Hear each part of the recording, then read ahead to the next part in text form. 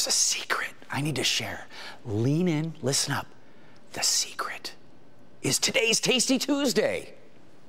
This restaurant on Allen Road in Taylor is rich in history. Previously a palace, and My Granny's Restaurants is now Secret Recipes. We put the family in family dining, you know. We, we, we want people to feel comfortable here, and the biggest thing is we want you to feel that we appreciate the fact that you come in. Family matters, and the Secret Recipe Kids menu makes mealtime amazing. One of the items is a unicorn pancake. We try to make it fun for the kids.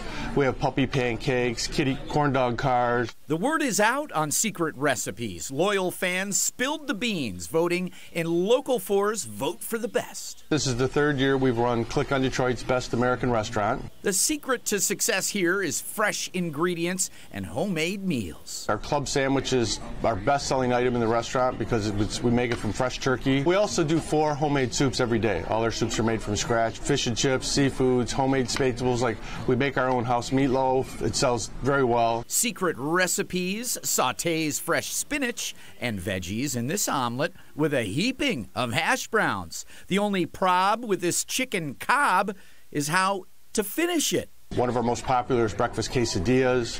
We have stuffed French toast. Specials change daily with twists to trending foods. A gluten-free menu is, is, you know, people are trying that. A keto menu, things of those natures.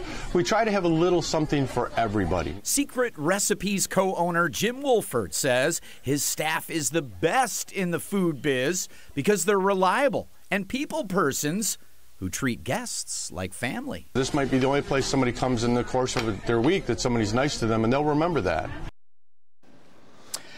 All right, listen up for today only. Secret Recipes Family Dining offering 15% off your bill when you mention Tasty Tuesday, the restaurant located on Allen Road near Goddard and Taylor home of the World Series, Little League World Series champs. Right? They open at 8 a.m.